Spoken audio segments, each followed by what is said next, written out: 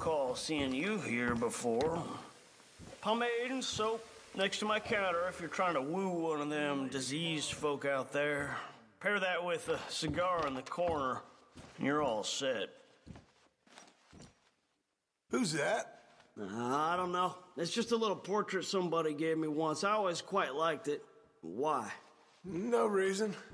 Just seemed familiar. Anyway, Here it is, the 20th century, and the name Herbert Moon means less than it did 20 years ago.